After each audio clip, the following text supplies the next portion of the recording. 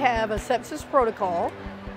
And in that protocol, we just have an algorithm that we kind of follow, and then we treat according to the algorithm.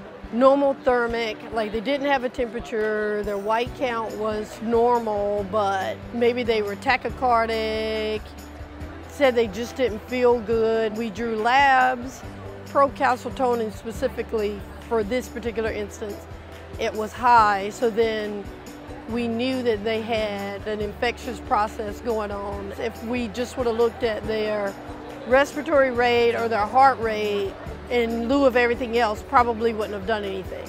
They didn't need to be intubated. It was just a lot of things that you could say, well, maybe this or maybe that, but then you knew they had some type of bacterial infection.